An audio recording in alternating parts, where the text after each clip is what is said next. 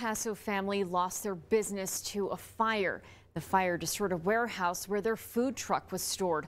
Now that fire happened this morning on a street near I-10 in Lee Trevino, and that's where we find ABC 7 Sarah Coria live with the details. Sarah. I'm at Cedar Oak Drive, the location of the family's warehouse, and just behind me here, you can see the destruction and the devastation the early morning fire caused. And just past me here this way, you can see the food truck that the family also lost to the flames. They lost their go-karts, their Xbox, everything. The fire marshal was able to save my son's Easter eggs.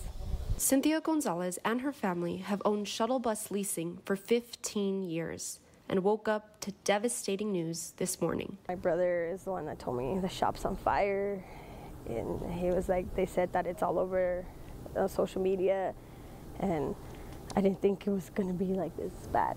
As the hours went by, the news got worse, and now they know their livelihood will never be the same. My little boy was crying. He was saying, Is this a dream?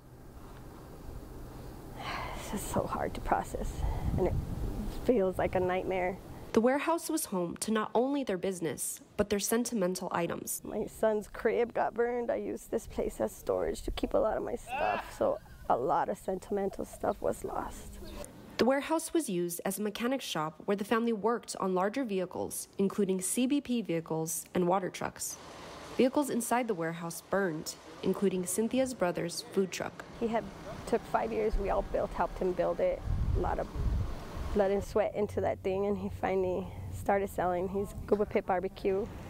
And with all the inflation right now, the meat prices, he put it on hold so he doesn't have to, you know, lose his his business.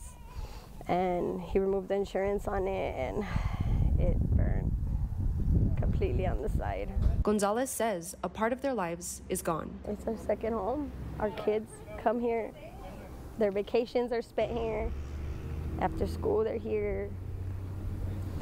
It's just hard to believe. Everything's gone. Nothing. There's nothing. Gonzalez says they don't know what comes next. They said we have to demolish.